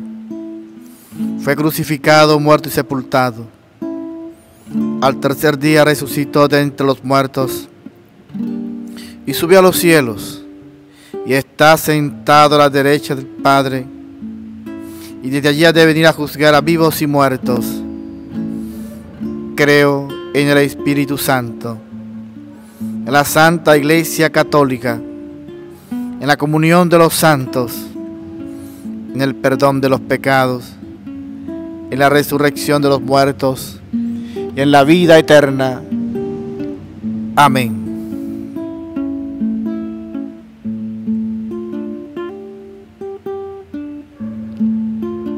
Creo en Dios, Padre Todopoderoso, Creador del cielo y de la tierra. Creo en Jesucristo, su único Hijo, nuestro Señor, que fue concebido por obra y gracia del Espíritu Santo. Nació de Santa María Virgen. Padeció bajo el poder de Poncio Pilato. Fue crucificado, muerto y sepultado. Descendió a los infiernos. Al tercer día resucitó entre los muertos. Subió a los cielos, está sentado a la derecha de Dios Padre Todopoderoso. Y allá viene a juzgar vivos y muertos. Creo en el Espíritu Santo, en la Santa Iglesia Católica, en la comunión de los santos, en el perdón de los pecados, en la resurrección de la carne y la vida eterna. Amén. Creo en Dios Padre Todopoderoso, Creador del cielo y de la tierra. Creo en Jesucristo, su único Hijo, nuestro Señor, que fue concebido por obra y gracia del Espíritu Santo. Nació de Santa María Virgen, padeció bajo el poder de Poncio Pilato, fue crucificado, muerto y sepultado, descendió a los infiernos, al tercer día resucitó entre los muertos, subió a los cielos y está sentado a la derecha de Dios Padre Todopoderoso. Desde allí ha de venir a juzgar a vivos y muertos. Creo en el Espíritu Santo, en la Santa Iglesia Católica, en la comunión de los santos, en el perdón de los pecados, en la resurrección de la carne y en la vida eterna. Amén. Creo en Dios Padre Todopoderoso, Creador del cielo y de la tierra. Creo en Jesucristo, su único Hijo, nuestro Señor, que fue concebido por obra y gracia del Espíritu Santo. Nació de Santa María siempre Virgen. Padeció bajo el poder de Poncio Pilato. Fue crucificado, muerto y sepultado. Al tercer día resucitó de entre los muertos y subió a los cielos y está sentado a la derecha del Padre y desde allí ha de venir a juzgar a vivos y muertos.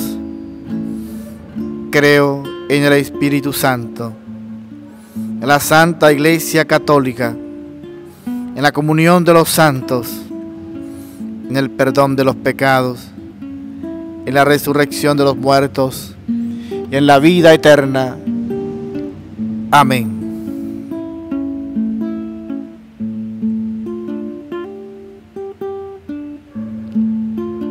Creo en Dios, Padre Todopoderoso, Creador del cielo y de la tierra. Creo en Jesucristo, su único Hijo, nuestro Señor, que fue concebido por obra y gracia del Espíritu Santo. Nació de Santa María Virgen. Padeció bajo el poder de Poncio Pilato. Fue crucificado, muerto y sepultado. Descendió a los infiernos. Al tercer día resucitó entre los muertos. Subió a los cielos, está sentado a la derecha de Dios Padre Todopoderoso. Y allá viene a juzgar a vivos y muertos. Creo en el Espíritu Santo, en la Santa Iglesia Católica, en la comunión de los santos, en el perdón de los pecados, en la resurrección de la carne y la vida eterna. Amén. Creo en Dios Padre Todopoderoso, Creador del cielo y de la tierra. Creo en Jesucristo, su único Hijo, nuestro Señor, que fue concebido por obra y gracia del Espíritu Santo. Nació de Santa María Virgen, padeció bajo el poder de Poncio Pilato, fue crucificado, muerto y sepultado, descendió a los infiernos, al tercer día resucitó entre los muertos, subió a los cielos y está sentado a la derecha de Dios Padre Todopoderoso. Desde allí ha de venir a juzgar a vivos y muertos. Creo en el Espíritu Santo, en la Santa Iglesia Católica, en la comunión de los santos, en el perdón de los pecados, en la resurrección de la carne y en la vida eterna. Amén.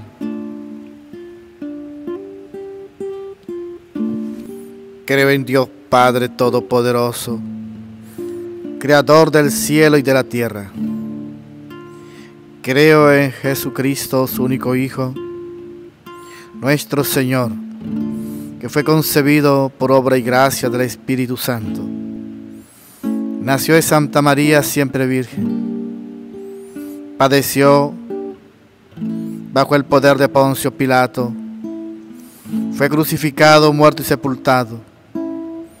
Al tercer día resucitó de entre los muertos y subió a los cielos y está sentado a la derecha del Padre y desde allí ha de venir a juzgar a vivos y muertos.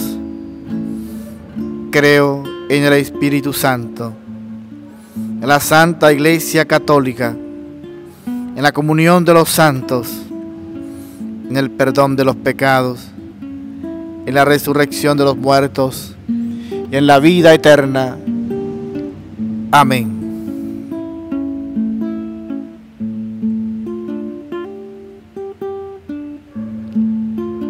Creo en Dios, Padre Todopoderoso, Creador del cielo y de la tierra. Creo en Jesucristo, su único Hijo, nuestro Señor, que fue concebido por obra y gracia del Espíritu Santo. Nació de Santa María Virgen. Padeció bajo el poder de Poncio Pilato. Fue crucificado, muerto y sepultado. Descendió a los infiernos.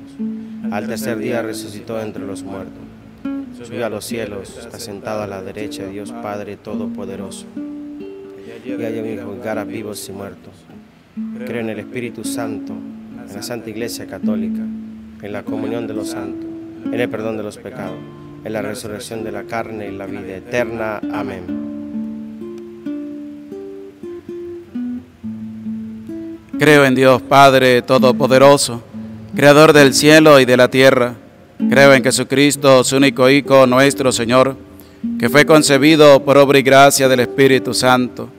Nació de Santa María Virgen, padeció bajo el poder de Poncio Pilato, fue crucificado, muerto y sepultado, descendió a los infiernos, al tercer día resucitó entre los muertos, subió a los cielos y está sentado a la derecha de Dios Padre Todopoderoso desde allí ha de venir a juzgar a vivos y muertos. Creo en el Espíritu Santo, en la Santa Iglesia Católica, en la comunión de los santos, en el perdón de los pecados, en la resurrección de la carne y en la vida eterna. Amén.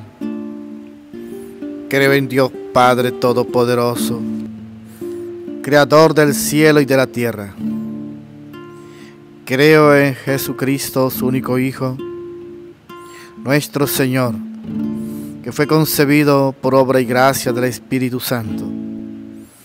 Nació de Santa María siempre Virgen. Padeció bajo el poder de Poncio Pilato. Fue crucificado, muerto y sepultado. Al tercer día resucitó de entre los muertos y subió a los cielos y está sentado a la derecha del Padre, y desde allí ha de venir a juzgar a vivos y muertos. Creo en el Espíritu Santo, en la Santa Iglesia Católica, en la comunión de los santos, en el perdón de los pecados, en la resurrección de los muertos y en la vida eterna. Amén.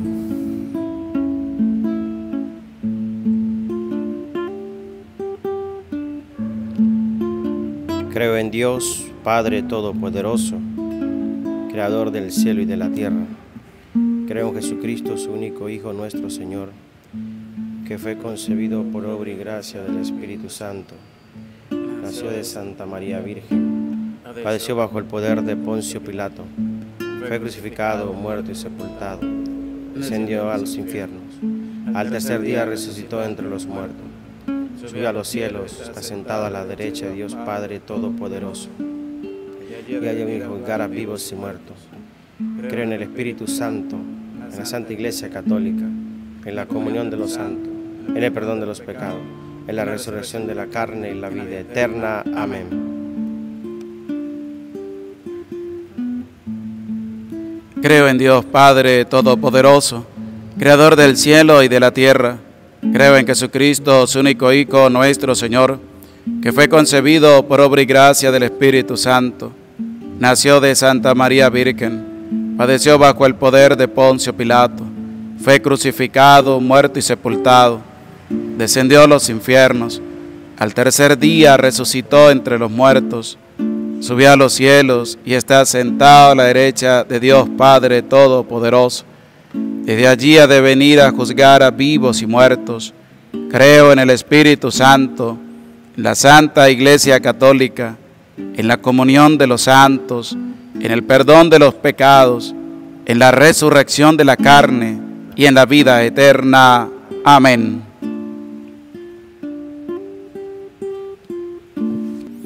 Creo en Dios Padre Todopoderoso, Creador del cielo y de la tierra Creo en Jesucristo, su único Hijo, nuestro Señor, que fue concebido por obra y gracia del Espíritu Santo. Nació de Santa María siempre Virgen. Padeció bajo el poder de Poncio Pilato.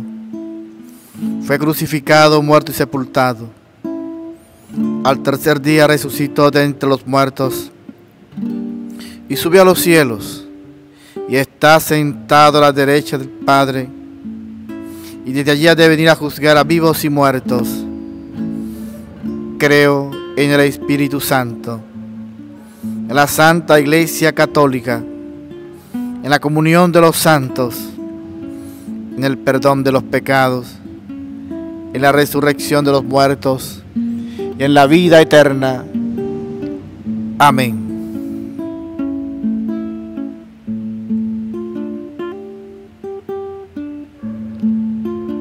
Creo en Dios, Padre Todopoderoso, Creador del cielo y de la tierra. Creo en Jesucristo, su único Hijo, nuestro Señor, que fue concebido por obra y gracia del Espíritu Santo. Nació de Santa María Virgen. Padeció bajo el poder de Poncio Pilato. Fue crucificado, muerto y sepultado.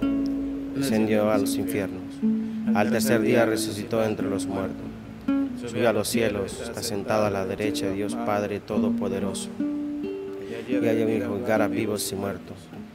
Creo en el Espíritu Santo, en la Santa Iglesia Católica, en la comunión de los santos, en el perdón de los pecados, en la resurrección de la carne y la vida eterna. Amén.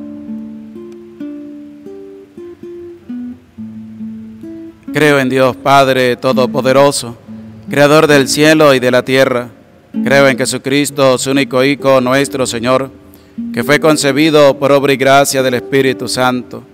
Nació de Santa María Virgen, padeció bajo el poder de Poncio Pilato, fue crucificado, muerto y sepultado, descendió a los infiernos, al tercer día resucitó entre los muertos, subió a los cielos y está sentado a la derecha de Dios Padre Todopoderoso desde allí ha de venir a juzgar a vivos y muertos.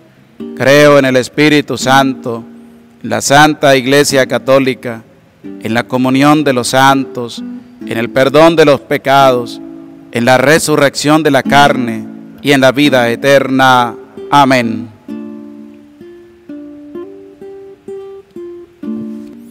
Creo en Dios Padre Todopoderoso, Creador del cielo y de la tierra Creo en Jesucristo, su único Hijo, nuestro Señor, que fue concebido por obra y gracia del Espíritu Santo.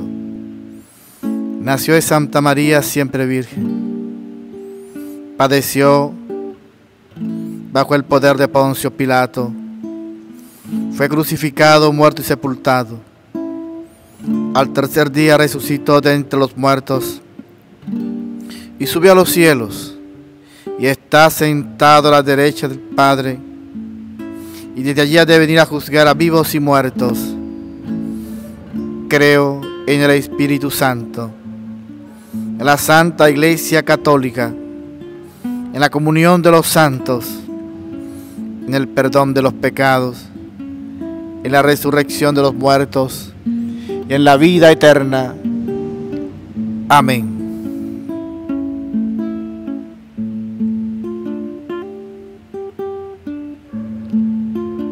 Creo en Dios, Padre Todopoderoso, Creador del cielo y de la tierra. Creo en Jesucristo, su único Hijo, nuestro Señor, que fue concebido por obra y gracia del Espíritu Santo. Nació de Santa María Virgen. Padeció bajo el poder de Poncio Pilato. Fue crucificado, muerto y sepultado. Descendió a los infiernos.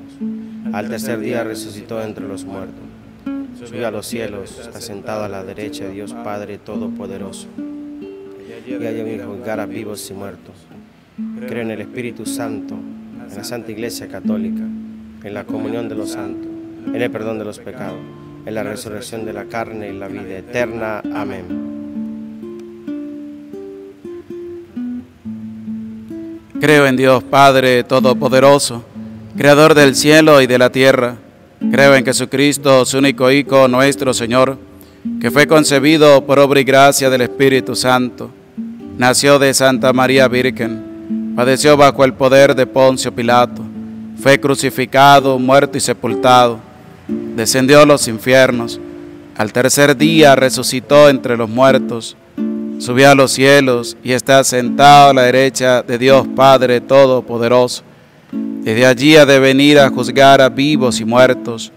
Creo en el Espíritu Santo, en la Santa Iglesia Católica, en la comunión de los santos, en el perdón de los pecados, en la resurrección de la carne y en la vida eterna. Amén.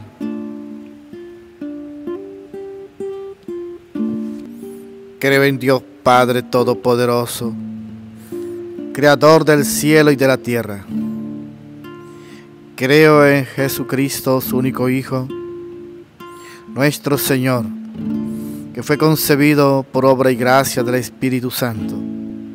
Nació de Santa María siempre Virgen. Padeció bajo el poder de Poncio Pilato. Fue crucificado, muerto y sepultado. Al tercer día resucitó de entre los muertos y subió a los cielos y está sentado a la derecha del Padre, y desde allí ha de venir a juzgar a vivos y muertos. Creo en el Espíritu Santo, en la Santa Iglesia Católica, en la comunión de los santos, en el perdón de los pecados, en la resurrección de los muertos y en la vida eterna. Amén.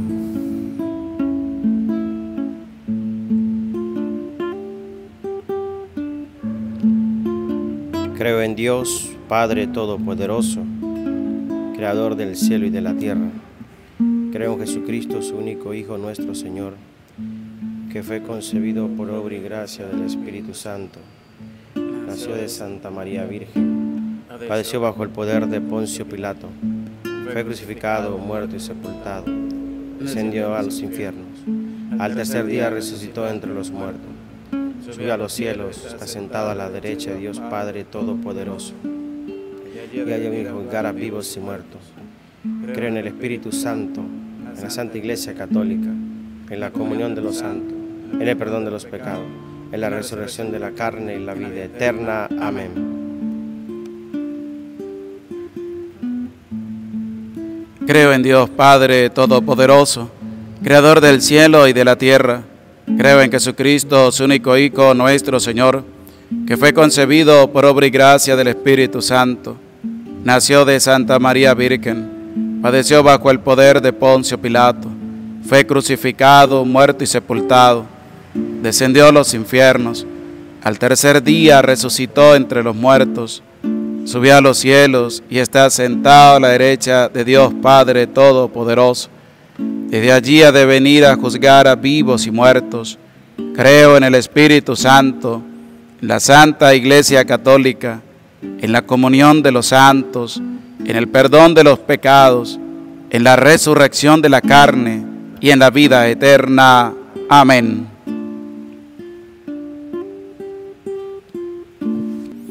Creo en Dios Padre Todopoderoso, Creador del cielo y de la tierra Creo en Jesucristo, su único Hijo, nuestro Señor, que fue concebido por obra y gracia del Espíritu Santo.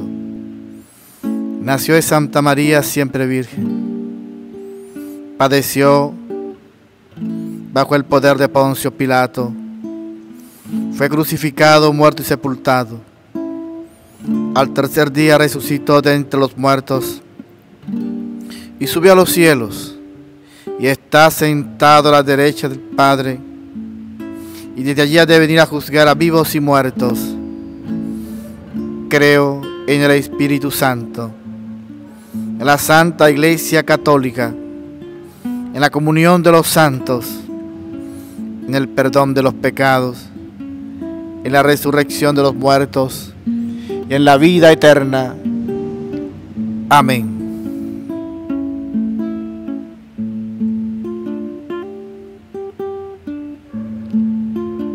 Creo en Dios, Padre Todopoderoso, Creador del cielo y de la tierra. Creo en Jesucristo, su único Hijo, nuestro Señor, que fue concebido por obra y gracia del Espíritu Santo. Nació de Santa María Virgen. Padeció bajo el poder de Poncio Pilato. Fue crucificado, muerto y sepultado. Descendió a los infiernos. Al tercer día resucitó entre los muertos subió a los cielos, está sentado a la derecha de Dios Padre Todopoderoso. Y allá viene juzgar a vivos y muertos. Creo en el Espíritu Santo, en la Santa Iglesia Católica, en la comunión de los santos, en el perdón de los pecados, en la resurrección de la carne y la vida eterna. Amén. Creo en Dios Padre Todopoderoso, Creador del cielo y de la tierra. Creo en Jesucristo, su único Hijo, nuestro Señor, que fue concebido por obra y gracia del Espíritu Santo. Nació de Santa María Virgen, padeció bajo el poder de Poncio Pilato, fue crucificado, muerto y sepultado, descendió a los infiernos, al tercer día resucitó entre los muertos, subió a los cielos y está sentado a la derecha de Dios Padre Todopoderoso desde allí ha de venir a juzgar a vivos y muertos. Creo en el Espíritu Santo, en la Santa Iglesia Católica, en la comunión de los santos, en el perdón de los pecados, en la resurrección de la carne y en la vida eterna. Amén.